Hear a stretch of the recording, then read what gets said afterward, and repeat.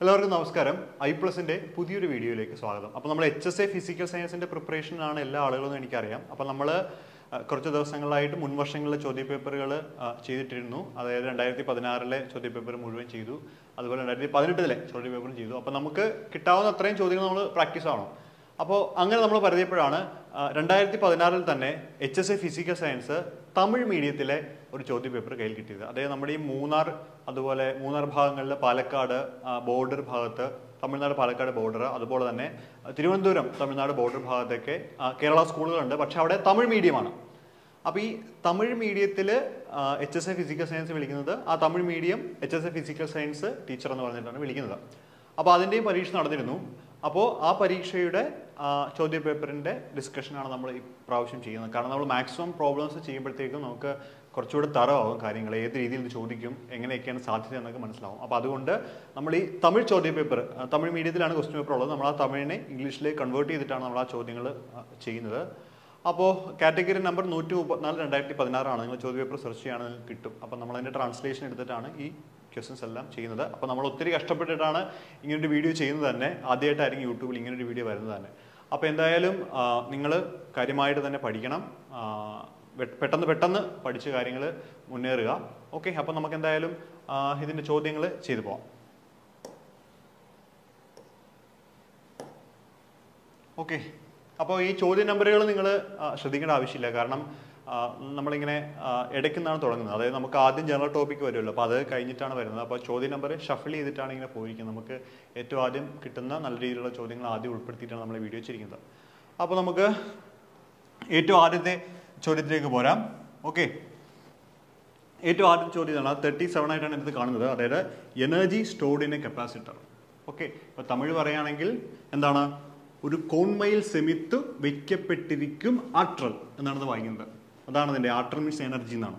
Okay ഒരു കോൾമൈ സെമിത്ത് വെക്കപ്പെട്ടിരിക്കും ആട്രൽ option നോക്കുകയാണെങ്കിൽ നിലയാട്രൽ എന്ന് പറഞ്ഞൊരു ഓപ്ഷൻ ഉണ്ട്. അതോടൊപ്പം തന്നെ ഈയക്കാട്രൽ എന്ന് പറഞ്ഞൊരു ഓപ്ഷൻ ഉണ്ട്. മിന്നലിയൻ ആട്രൽ എന്ന് പറഞ്ഞൊരു ഓപ്ഷനുണ്ട് കാന്ത ആട്രൽ എന്ന് പറഞ്ഞൊരു ഓപ്ഷനുണ്ട് നമുക്കിത് മനസ്സിലാവും സിമ്പിളായിട്ട്. കാരണം എന്താ അറിയോ? ഇപ്പം ഈ പൊട്ടൻഷ്യൽ എനർജി എന്ന് വെച്ച് കഴിഞ്ഞാൽ നിലയാട്രൽ എന്നാണ് ഇതിനെ പറയുന്നത്. അല്ലേ? അതായത് സ്ഥാനം കൊണ്ടുണ്ടാവുന്ന എനർജിയാണ് പൊട്ടൻഷ്യൽ എനർജി എന്ന് പറയുന്നത്. അല്ലേ? സ്ഥിതികോർജം. അതാണ് നിലയാട്രൽ എന്ന് പറയുന്നത് ഒരു ഓപ്ഷൻ. ദെൻ ഈയക്കാട്രൽ എന്ന് വെച്ച് കഴിഞ്ഞാൽ ഗതികോർജമാണ്. കൈനറ്റിക് എനർജി മൂലം ഉണ്ടാവുന്നതാണ്. ദെൻ അതിനുശേഷം മിന്നലിയൻ ആട്രൽ എന്ന് വെച്ച് കഴിഞ്ഞാൽ ഇലക്ട്രോസ്റ്റാറ്റിക് എനർജിയാണ്. മിന്നലിയൻ ആട്രൽ ദെൻ അതിനുശേഷം കാന്ത ആട്രൽ അത് നമുക്ക് എല്ലാവർക്കും അറിയാം മാഗ്നറ്റ് മൂലമുണ്ടാവുന്ന എനർജിയാണ് എന്തെന്ന് പറയുന്നത്? മാഗ്നറ്റിക് എനർജി എന്ന് പറയുന്നത്.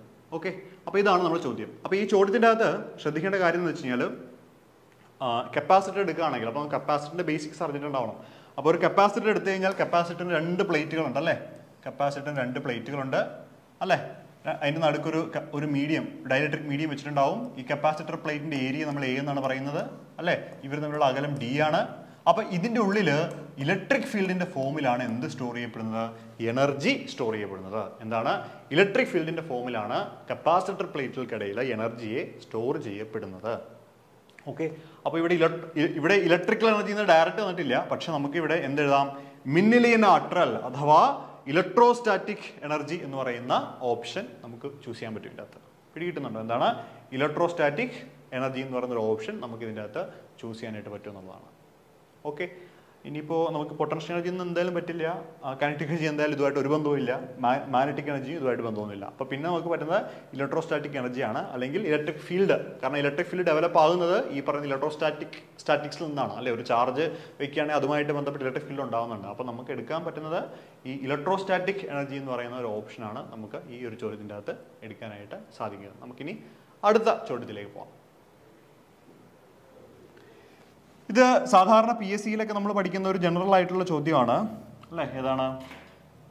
A single woman got Nobel prize for physics and chemistry ഫിസിക്സിലും കെമിസ്ട്രിക്കും ഊർജതന്ത്രത്തിലും രസതന്ത്രത്തിലും ഒരേപോലെ നൊബൽ പ്രൈസ് നേടിയ വുമൺ ആരാണ് എന്നുള്ളതാണ്. അല്ലേ? നമുക്കറിയാലോ എരിക്കുറിയാണ് വാങ്ങിയത്. സോ ഓപ്ഷൻ എ ആണ് അതിന്റെ റൈറ്റ് ചോയ്സ് വേറെ ഒന്നുമല്ല ഓക്കെ ഇതൊക്കെ സയന്റിസ്റ്റുകൾ തന്നെയാണ്. എനിക്ക് തോന്നുന്നു ഈ പറയുന്ന റേഡിയോ ആക്ടിവിറ്റിയിൽ തന്നെ വർക്ക് ചെയ്തിട്ടുള്ള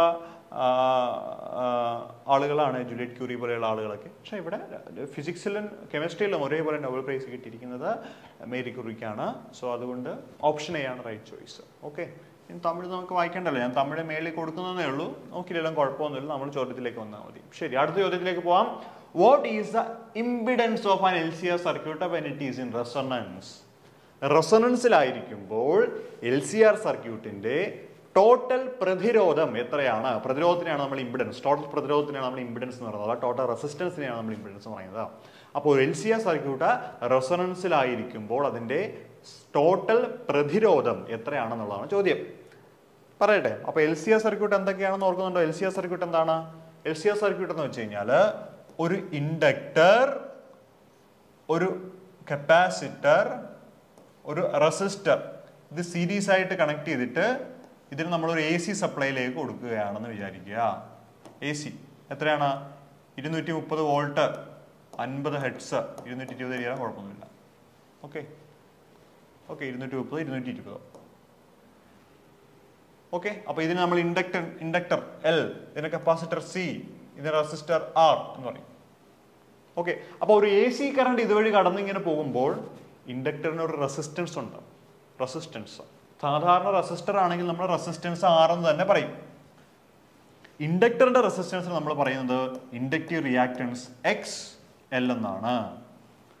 കപ്പാസിറ്റർ കൊടുക്കുന്ന റെസിസ്റ്റൻസ് നമ്മൾ പറയുന്നത് എക്സ് സി എന്നാണ്. കപ്പാസിറ്റീവ് റിയാക്ടൻസ് എന്ന് പറയും. എന്താണ്? കപ്പാസിറ്റീവ് റിയാക്ടൻസ് ഓക്കെ അപ്പൊ അങ്ങനെയാണെങ്കിൽ ഇത് മൂന്നും സീരീസ് ആയിട്ട് വരികയാണെങ്കിൽ ഇത് മൂന്നും കൂടി ചേർന്ന് ഒരു സഫല പ്രതിരോധം ഉണ്ടാവുന്നുണ്ട് അല്ലെ? ആ സഫല പ്രതിരോധത്തിനാണ് നമ്മൾ ഇമ്പിഡൻസ് എന്ന് പറയുന്നത് ഇസഡ് അല്ലെ? ആ impedance equation Z is equal to root of R square plus എന്താണ്? L omega minus one by C omega the whole square എന്നാണ് ഇക്വേഷൻ അല്ലേ? ഈ എൽ ഒമേഗ എന്ന് വെച്ചാൽ എന്താണ്? എക്സ് എൽ ആണ്. വൺ ബൈ സി ഒമേഗ എന്ന് വെച്ചാൽ എന്താണ്? എക്സ് സി ആണ്. അതായത് കപ്പാസിറ്ററിന്റെ റെസിസ്റ്റൻസ് ആണ് വൺ ബൈ സി ഒമേഗ എന്ന് പറയുന്നത്. നമ്മുടെ ഇൻഡക്ടറിന്റെ റെസിസ്റ്റൻസ് ആണ് എൽ ഒമേഗ എന്ന് പറയുന്നത്. പിടികിട്ടുന്നുണ്ടോ അപ്പൊ അങ്ങനെയാണെങ്കിൽ നമ്മൾ റെസണൻസ് സംഭവിക്കാനുള്ള കണ്ടീഷൻ എന്താണെന്ന് ആദ്യം ഒന്ന് പറയണം.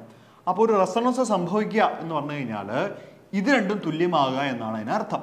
പിടികിട്ടുന്നുണ്ടോ അപ്പോൾ ഇൻഡക്ടറിന്റെ റിയാക്ടൻസും കപ്പാസിറ്ററിന്റെ റിയാക്റ്റൻസും എപ്പോഴാണോ തുല്യമാകുന്നത്? അപ്പോൾ നമുക്ക് എന്ത് പറയാം? അത് റെസൊണൻസിലായി എന്ന് പറയാം. ഒരു ആപ്ലിക്കേഷൻ ഞാൻ പറഞ്ഞുതരാം. നമ്മൾ റേഡിയോയൊക്കെ പണ്ടത്തെ റേഡിയോ ഇങ്ങനെ ട്യൂൺ ചെയ്യുമല്ലോ. അപ്പോൾ ഈ റേഡിയോ ട്യൂൺ ചെയ്യുക എന്ന് വെച്ചാൽ അർത്ഥം എന്താണെന്ന് വെച്ച് കഴിഞ്ഞാൽ ഇത് നമ്മൾ ട്യൂൺ ചെയ്യുന്നതിന് അനുസൃതമായിട്ട് കപ്പാസിറ്ററിനും ഇൻഡക്ടറിലെയും ഇത് റിയാക്റ്റൻസുകൾ തുല്യമാക്കുകയും അതിന്റെ ഫലമായിട്ട് റെസൊണൻസ് സംഭവിക്കുകയും ആ റെസൊണൻസിന്റെ ഫലമായിട്ട് ഏതെങ്കിലും ഒരു സ്റ്റേഷൻ കൃത്യമായിട്ട് നമുക്ക് നമ്മുടെ ഇതിലേക്ക് എടുക്കാനും പറ്റും റേഡിയോയിലേക്ക് എടുക്കാനും പറ്റും. അതാണ് അവിടെ സംഭവിക്കുന്നത്. അപ്പോൾ റേഡിയോ ട്യൂണിംഗ് എന്ന് പറയുന്നത് റെസണൻസിന്റെ ഒരു ആപ്ലിക്കേഷൻ തന്നെയാണ്. പിടികിട്ടുന്നുണ്ടോ? അപ്പോൾ എക്സലും എക്സിയും തുല്യമാവുമ്പോഴാണ് റെസൊണൻസ് സംഭവിക്കുന്നത് അല്ലേ? അപ്പോൾ റെസൊണൻസിന്റെ കണ്ടീഷൻ പഠിക്കുക X L equal to X C.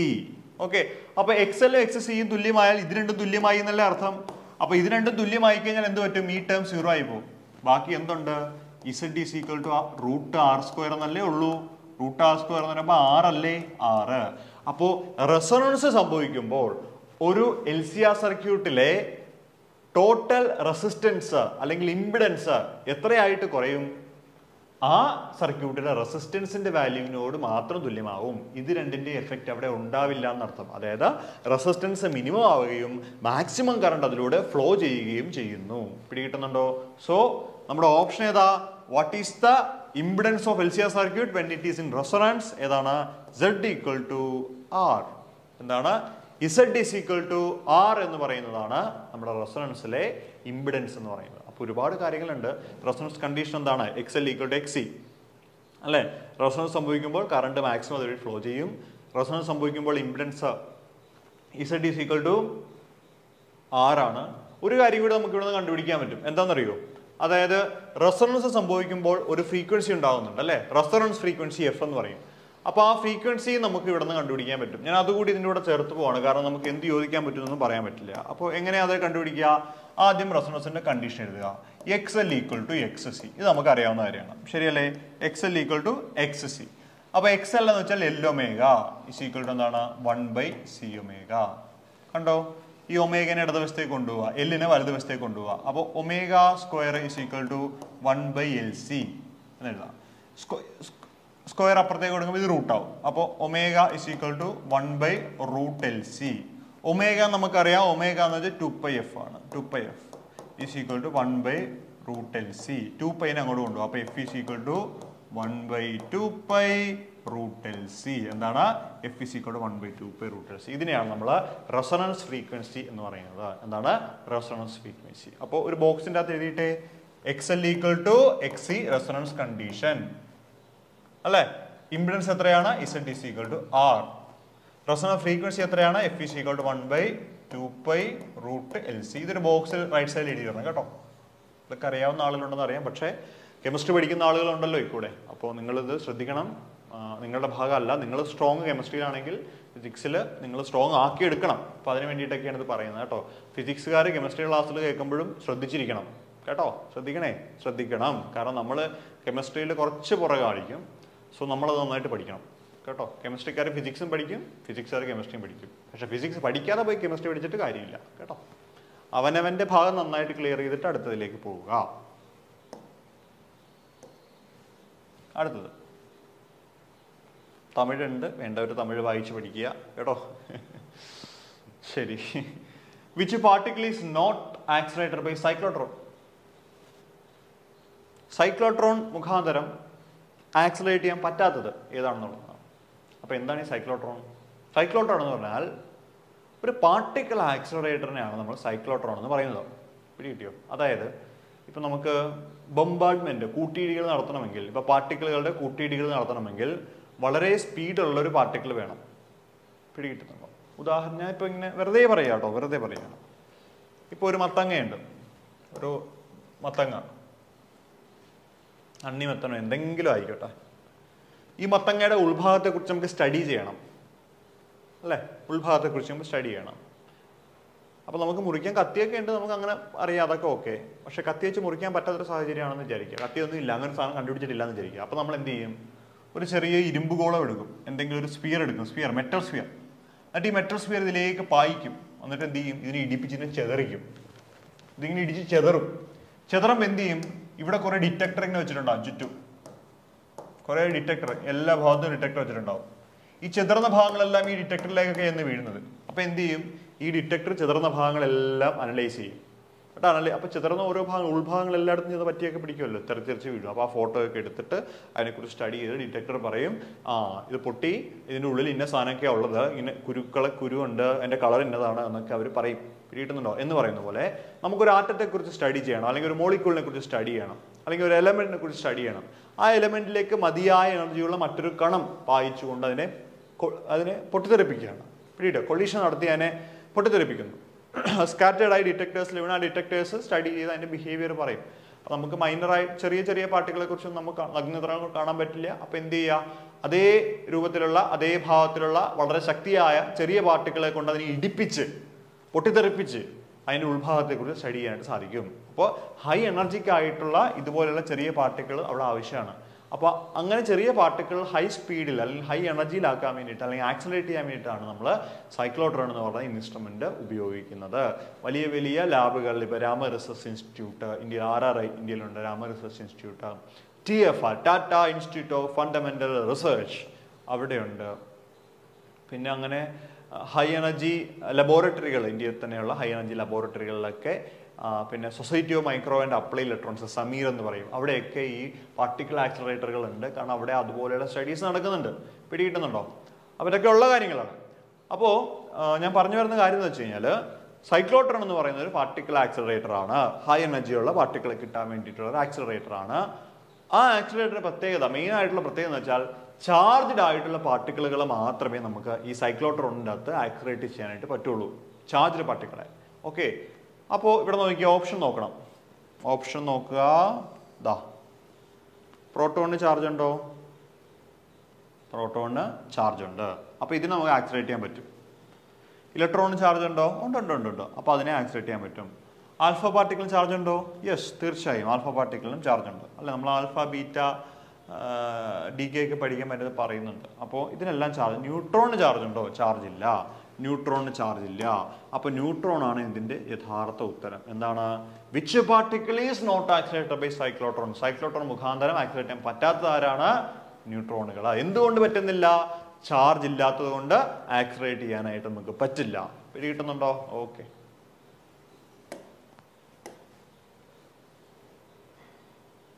Yes അടുത്ത ചോദ്യം. ടാക്കോമീറ്റർ ഉപയോഗിച്ചിട്ട് മെഷർ ചെയ്യാൻ പറ്റുന്നത് എന്ത് ക്വാണ്ടിറ്റി ആണെന്നുള്ളതാണ് നമ്മുടെ അടുത്ത ചോദ്യം. ഇതൊക്കെ സിമ്പിളായിട്ട് ചോദിക്കുന്ന ചോദ്യങ്ങളാട്ടോ. ടാക്കോമീറ്റർ ഉപയോഗിച്ച് മെഷർ ചെയ്യാൻ പറ്റുന്ന ഓപ്ഷൻസ് നോക്കുക. Gravity surface force circular motion rotational speed അപ്പോൾ ടാക്കോമീറ്റർ എന്ന് വെച്ചാൽ നമ്മുടെ വണ്ടിയിൽ ഇരിക്കുന്ന മീറ്റർ ഇല്ലേ? വണ്ടിയുടെ ഫ്രണ്ടിൽ ഇരിക്കുന്ന ഒരു മീറ്റർ ഉണ്ടല്ലോ. അതാണ് ടാക്കോമീറ്റർ എന്ന് പറയുന്നത്. അപ്പോൾ ആ ടാക്കോമീറ്റർ ഉപയോഗിച്ചിട്ട് നമുക്ക് റൊട്ടേഷണൽ സ്പീഡ് മെഷർ ചെയ്യാനായിട്ട് സാധിക്കും. റൊട്ടേഷണൽ സ്പീഡ് കാരണം ഈ ഓപ്ഷനിൽ ഫിറ്റ് ആകുന്ന ഏറ്റവും നന്നായിട്ട് ഫിറ്റ് ആകുന്നത് ഓപ്ഷൻ ഡി ആണ് rotational speed so option D നമുക്ക് ചൂസ് ചെയ്യാൻ പറ്റും. സർക്കുലർ മോഷൻ ഈസ് ഓൾസോ നമുക്ക് പറയാം. പക്ഷേ കുറെ കൂടി ആക്യുറേറ്റ് ആയിട്ട് പറയാൻ പറ്റുന്നത് rotation സ്പീഡാണ് so we can measure rotation speed using a tachometer ആണ് നമ്മൾ സാധാരണ വെഹിക്കിൾ ഓട്ടോമൊബൈൽ വെഹിക്കിൾസുകളിലൊക്കെ കാണുന്നുണ്ട്. ചോദ്യം. നോക്കാം. Which of the following is the fastest change in sound as the amount of water vapor in the atmosphere or humidity increases അതായത് എന്ത് ക്വാണ്ടിറ്റിയാണ് പെട്ടെന്ന് ചേഞ്ച് വരുന്നത് എപ്പോൾ വാട്ടർ വേപ്പർ അന്തരീക്ഷത്തിൽ വാട്ടർ വേപ്പറുകൾ കൂടുതലുണ്ടായിരിക്കുമ്പോൾ അല്ലെങ്കിൽ ഹ്യൂമിഡിറ്റി ഇൻക്രീസ് ആയി നിൽക്കുമ്പോൾ fastest change in sound as amount of water vapour in the atmosphere or humidity increases. Okay, which of the following is the fastest change in sound as the amount of water vapor in atmosphere or humidity increases. അപ്പോൾ സൗണ്ടിലെ ഏത് കാര്യമാണ് ഏറ്റവും വേഗത്തിൽ change ആകുന്നത്? Water vapour അന്തരീക്ഷത്തിലുള്ളപ്പോൾ അല്ലെങ്കിൽ humidity കൂടുതലായിട്ട് വരുമ്പോൾ എന്താണെന്നുള്ളതാണ് ചോദ്യം. ഓക്കെ ഓപ്ഷൻസ് നോക്കാം. Sound is fast and steady the sound is quickly turn into swirl കറങ്ങി വരുമെന്ന്. Then sound is amplified and the speed of the sound is decreases അപ്പോൾ ഓരോ ഓപ്ഷനുകളായിട്ട് നമുക്ക് ഇതിന്റെ അകത്ത് എലിമിനേറ്റ് ചെയ്യാൻ പറ്റും. സ്പീഡ് ഓഫ് സൗണ്ട് ഡിക്രീസസ് അത് നമുക്ക് ആദ്യം തന്നെ എലിമിനേറ്റ് ചെയ്ത് അല്ലേ? അതല്ല. Then sound is amplified sound amplify ഒന്നും ആവുന്നില്ല. നമ്മളൊരു ഇങ്ങനെ കേൾക്കും എന്നുള്ള നല്ല ഭയങ്കരമായിട്ടുള്ള ശക്തി വരില്ല. ആംപ്ലിഫൈ ആണെങ്കിൽ അതിന് ആംപ്ലിഫയർ വേണം. സൗണ്ട് ആംപ്ലിഫയർ വേണം. അത് ഒഴിവാക്കാം. രണ്ട് ഓപ്ഷൻ ഒഴിവാക്കി. രണ്ട് ഓപ്ഷൻസ് ആണ്. Sound is fast and steady and sound is quickly turn into swirl ഇതിങ്ങനെ കറങ്ങുമെന്ന്. കറങ്ങി കറങ്ങി വരുമെന്നാണ് ഓപ്ഷൻ സി പറയുന്നത്. അതെന്തായാലും അല്ല. ആ ഓപ്ഷൻ ഒഴിവാക്കാം. പിന്നെന്താണ്? Sound is fast and steady എന്താണ്? Sound is fast and steady അല്ലേ? നിങ്ങൾ ശ്രദ്ധിച്ചിട്ടുണ്ടെന്ന് അറിയില്ല. നമ്മുടെ വീടിന്റെ അടുത്ത് നിന്ന് വളരെ ദൂരെ ആയിരിക്കും ചിലപ്പോൾ റെയിൽവേ ട്രാക്കൊക്കെ ഉണ്ടാകുന്ന ട്രെയിനൊക്കെ. സാധാരണ സമയങ്ങളിൽ ഒരുപക്ഷെ നമ്മൾ ട്രെയിനിന്റെ ശബ്ദം കേൾക്കുന്നുണ്ടാവില്ല പക്ഷേ സമയം അതായത് ഈ ഹ്യൂമിഡിറ്റി അല്ലെങ്കിൽ വാട്ടർ വേപ്പറൊക്കെ ഒരുപാടുള്ള സമയത്താണെങ്കിൽ ഒരുപാട് ദൂരെ കൂടി പോകുന്ന ട്രെയിൻ പാളത്തിൽ കൂടി പോകുന്ന ട്രെയിനിന്റെ ശബ്ദവും നമുക്ക് വീട്ടിൽ കേൾക്കാൻ പറ്റും. കാരണം എന്റെ വീടിന്റെ അടുത്ത് നിന്ന് ഒരുപാട് ദൂരെയാണ് റെയിൽ പാളം ഒത്തിരി ദൂരെയാണ് ഒത്തിരി പോകണം പക്ഷേ ചില സമയങ്ങൾ ഞാൻ പ്രത്യേകം ശ്രദ്ധിക്കാറുണ്ട് ഈ ശബരിമല സീസൺ മണ്ഡലകാല സമയമൊക്കെ ആവുമ്പോഴാണ് കൂടുതൽ കേൾക്കുന്നത്. അതെന്താ കാരണം? ആ സമയമാകുമ്പോൾ കുറച്ച് മഞ്ഞും ജലഗണികളുടെ സാമീപ്യം. അല്ലെ? കാരണം ഡിസംബർ ഒക്കെയാണ് ആ സമയം. ഡിസംബർ ജനുവരി സമയമാണ്. കുറച്ച് മഞ്ഞൊക്കെയുള്ള സമയമാണ്. അപ്പൊ ഹ്യൂമിഡിറ്റി അല്ലെങ്കിൽ വാട്ടർ വേപ്പർ കണ്ടന്റ് അറ്റ്മോസ്ഫിയർ ഉള്ളത് കൂടുതലാണ്. സോ സ്വാഭാവികമായിട്ടും ട്രെയിനിന്റെ ശബ്ദം നമുക്ക് അവിടെ നിന്ന് കേൾക്കാനായിട്ട് പറ്റുമെന്നുള്ളതാണ്. ഓക്കെ അപ്പോൾ നമ്മുടെ ഓപ്ഷൻ ചൂസ് ചെയ്യാൻ പറ്റുന്നത് sound is fast and steady എന്ന് പറയുന്ന ഓപ്ഷനാണ് ചൂസ് ചെയ്യാൻ പറ്റുന്നത്. ഓക്കെ അപ്പോൾ ഈ ചോദ്യങ്ങളൊക്കെ ഭയങ്കര ട്രിക്കിയാണ് നമുക്ക് ഭയങ്കര സിമ്പിളായിട്ട് തോന്നുമെങ്കിലും നമുക്ക് ഓപ്ഷൻ എടുക്കാനായിട്ട് ഒരു ഒരു ഒരു ഒരു ഒരു ബുദ്ധിമുട്ട് വരാൻ സാധ്യതയുണ്ട്. കാരണം ചെറിയ ചെറിയ ഓപ്ഷനൊക്കെ വളരെ അടുത്തടുത്ത് നിൽക്കുന്നതാണ്. അപ്പോൾ ചെറിയ കാര്യങ്ങളാണെങ്കിൽ പോലും അത്രയും വ്യക്തമായിട്ടും ക്ലിയറുമായിട്ട് പഠിക്കണം എന്നുള്ളതാണ് നമ്മൾ ഇതിൽ നിന്ന് മനസ്സിലാക്കേണ്ട ഒരു വസ്തുത എന്നുള്ളത്. കേട്ടോ? Okay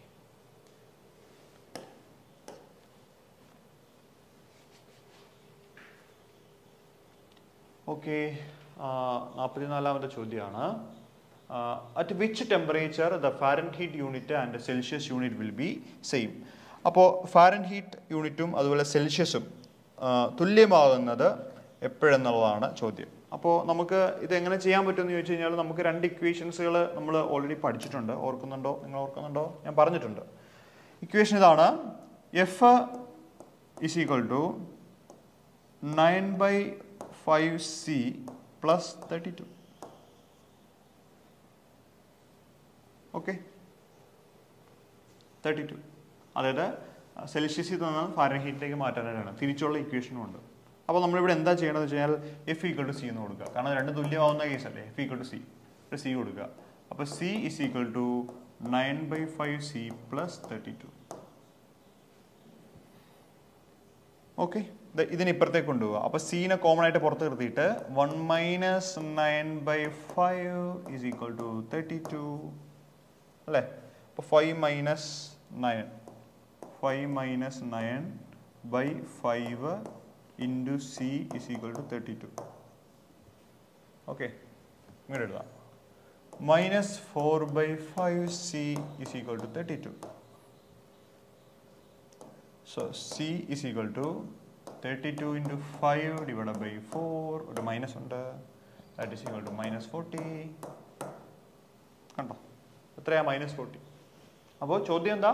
At which temperature the Fahrenheit unit and Celsius unit will be same Fahrenheit യൂണിറ്റും സെൽഷ്യസ് യൂണിറ്റും തുല്യമാകുന്ന ഒരു സമയമുണ്ട്. ഏതാണ് സമയം എന്നുള്ളതാണ് ചോദ്യം. ഓക്കെ എന്താണ്? ഏതാണ്? സമയമൊന്നല്ല ഏത് വാല്യൂവിലാണ് തുല്യമാവുന്നത് പറഞ്ഞു വന്നപ്പോൾ അങ്ങ് സമയമായി. പോട്ടെ. ഏത് വാല്യൂവിലാണ് ഡിഗ്രി സെൽഷ്യസും ഫാരൻഹീറ്റും തുല്യമാണെന്ന് വെച്ചാൽ മൈനസ് നാൽപ്പത് എന്ന് പറയുന്ന ഒരു വാല്യൂവിൽ ഈ രണ്ടാളുകളും തുല്യമാണ് എന്നുള്ളത് മനസ്സിലാക്കി വെക്കുക. ഓക്കെ അപ്പോൾ ഇതിങ്ങനെയാണ് ചെയ്യേണ്ടത്. സിമ്പിൾ കാര്യമാണ്. അപ്പോൾ നിങ്ങൾ ആലോചിച്ച് നോക്കുക നമുക്ക് ശരിക്കും ചോദ്യമൊക്കെ വരുന്നത് Celsius to Fahrenheit Fahrenheit to Celsius conversion ആയിരിക്കാം. പക്ഷെ അവിടെ നിന്ന് നിൽക്കാതെ വേറൊരു ചോദ്യം ചോദിച്ചിരിക്കുകയാണ്. ഓക്കെ അപ്പോൾ മനസ്സിലാക്കുക. ഇത് എഫ് ഈക്വൾ ടു സി എന്ന് ഇട്ട് കൊടുത്തിട്ട് ചെയ്യുകയാണെങ്കിൽ നമുക്ക് ഈ ഒരു വാല്യൂവിലേക്ക് എത്തിച്ചേരാനായിട്ട് പറ്റും. ഓക്കെ ക്ലിയർ അല്ലേ? ശരി.